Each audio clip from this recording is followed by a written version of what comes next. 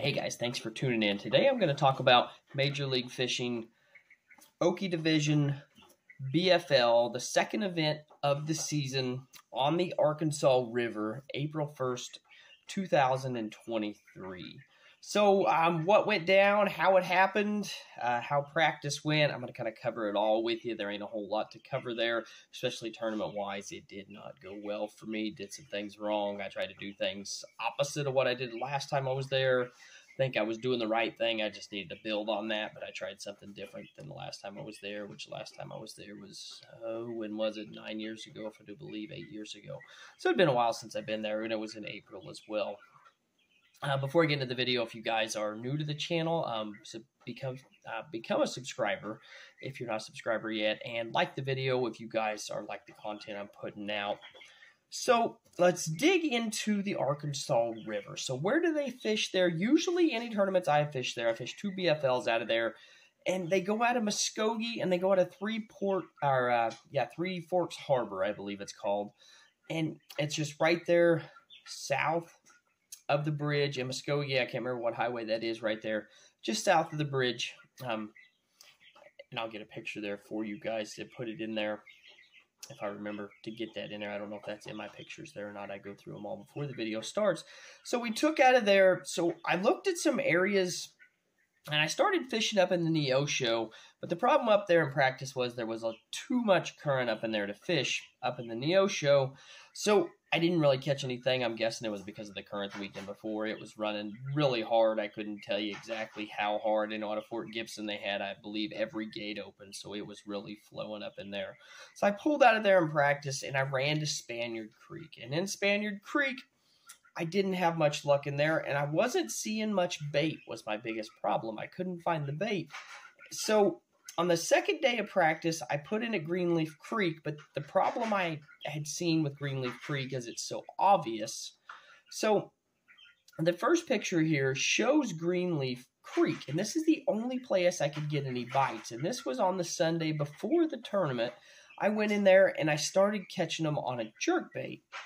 Now, I'll show you where I started catching these in the second picture on the jerk bait. And I was throwing a Megabass Vision 110 um, Junior, I forgot to bring it in here with me. I don't have it here, but it's a Vision 110 Junior in Sexy Shad. You can look it up. It's real easy to look it up and see that color that I was throwing in there. And I was throwing that because the water in there in practice, which you'll see in the second picture here, will get you into Greenleaf Creek. And that's going to show you all the areas I caught them at in there. And I was catching them because the water was a little cleaner and I was catching them on the jerk bait. The water temp, I believe, got up to 57 or 58 that Sunday, and they were just stacked in there. I caught one, you'll see here in the picture, the red, I caught one short, and then I caught one around four and a half pounds. But that wasn't the first area I fished when I pulled in there. The first area I fished when I pulled in there was the green area, and I caught one around two and a half to three pounds, which you'll see the picture of it here. I tried to get the video. I don't know what happened when I got it off the GoPro. I took it off the GoPro and it didn't get converted over the computer for some reason. I went to sit down to go through that footage, and it didn't get all the footage from that day on there.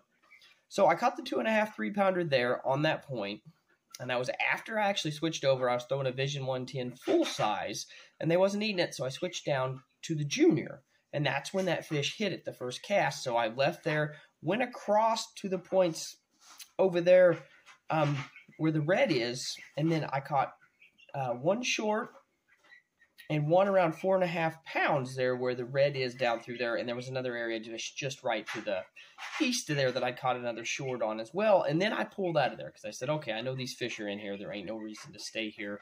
I know they're in here. This is a great place to come to the tournament if I don't find anything else.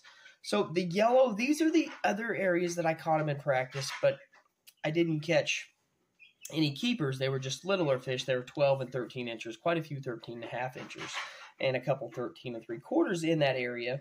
So I knew this was a backup plan in the tournament if it was too full back in there in Green Lake. That was my backup plan was to go to these areas. And then the purple, that is where I also caught a keeper in practice and I caught a short in practice right there. And that so that's the only place actually in the tournament where my co-angler caught a keeper. He only caught two fish. He caught one back under the bridge there towards the east and then he caught the one right here um, in the purple right there. That is where he caught his fish there. Now, when I pulled up there in the tournament, I got in there in my first area, which would have been where I caught my four and a half pounder, the red area. It had about four boats in there. I think there was four or five boats right on that area. And then the other area where I caught them, right there on that point, there wasn't nobody on the point directly, but there was a guy back on this side, and there was a guy out in the middle, or a guy back to the west, and then a guy out towards the middle that looked like he just pulled off the point and was pulling off of that. So I worked my way in there to fish on that point and didn't get anything there. Had a couple of them on the front facing sonar miss it, and I really wanted to fish the area where I caught that big four and a half to five pounder at. So I went over and I finally got in there. I think it took about three hours to actually get over there once it finally opened up to get over there because there were so many boats hitting and I couldn't just jump in front of nobody to get in there. So I had to wait my turn to go over there and fish with those guys to for it to open up. So once it opened up, I got over there. I did finally, once I got over there, um, all together, all day between, I think I caught four off of that area, if I remember right.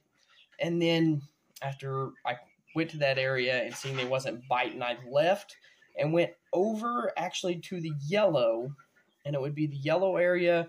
Um, if you could see the boat ramp, I didn't put a boat ramp where it is in the picture there, but it's just right when you go under the bridge, going back to the west, that yellow area right there.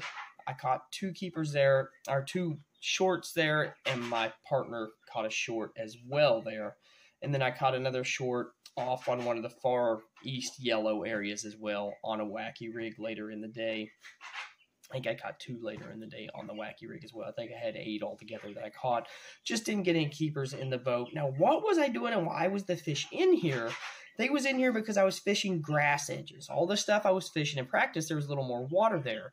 And I was fishing these grass edges at, and I was fishing the break or the drop, and I was fishing that with the jerk bait, just off of those grass edges.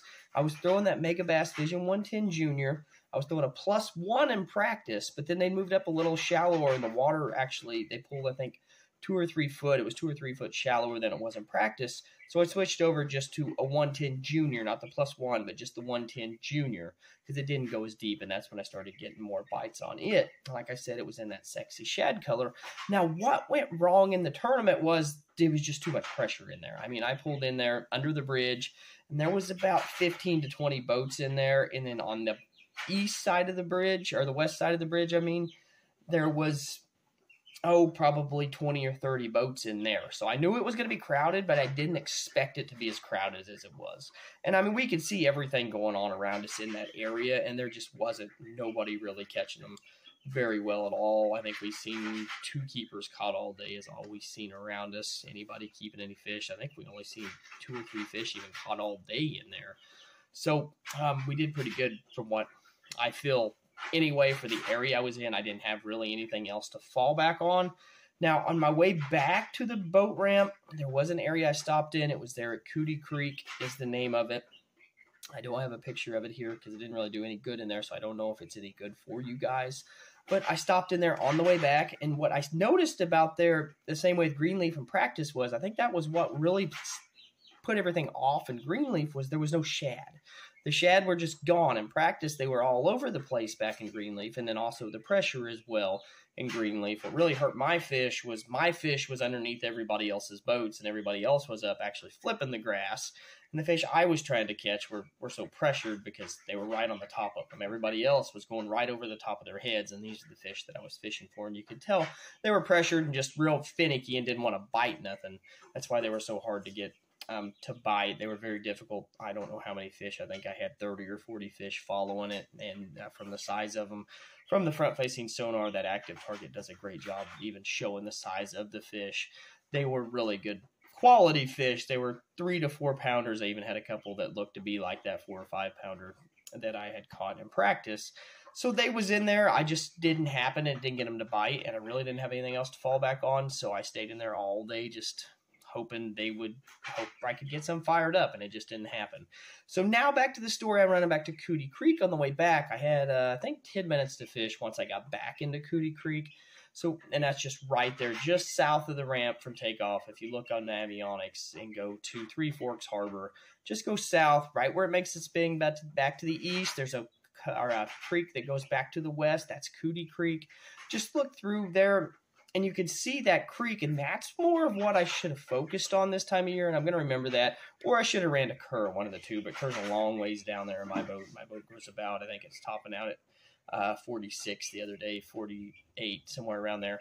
So it takes a long time to get on a Kerr. I think it's uh, actually to where I wanted to fish at down there to the marina because I'd have to run to the marina to get gas from in my boat. Um, it's only got a 25 gallon gas tank, so you're looking at about uh, 75 miles, and in my boat, that's about an hour and a half to a two hour run in my boat. Plus, you got the lock, so you're looking about two and a half hours to get down there, and then two and a half hours back. So you're looking at about five hours. So you're looking at three hours of fishing time once you're down there. So I should have done that, but I just um, really had a fear of not making it back through the lock and the boat, getting a bad boat number, and not really getting down there and getting in through the lock. I that that's my suggestion if you go to um, down there to this area and the Arkansas River is to go into Kerr, not stay in Weber Falls. But I have seen, did see some good limits caught out of Weber Falls, though. But what I would have done different if I stayed in Weber Falls is I'd have focused more on these creeks because on my way back, I stopped into Cootie Creek and there were just shad all over the place. So where the shad are, when you find the bait, you'll find the bass.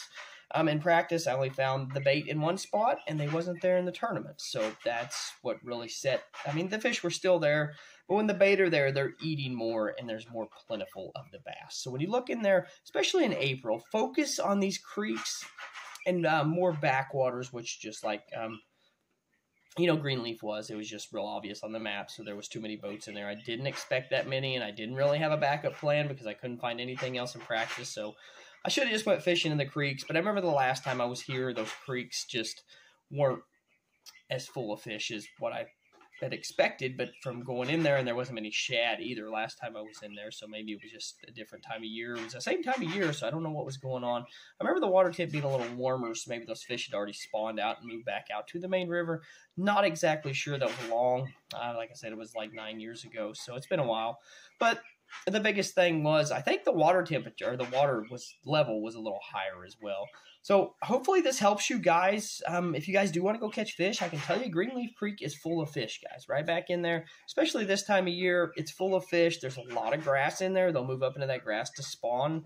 Um, if you're watching this video now, they're probably getting ready to spawn down there because they were really close to it. You can see those pictures of the fish they were about ready to burst. I only got pictures of two of them. Like I said, I wanted the video footage, but something happened when I got transferred over the computer. I didn't check through it all to make sure they was in there, and I deleted off my GoPro actually instead of uh, making sure before I delete off my GoPro. So I don't have none of that footage, but I got the pictures anyway.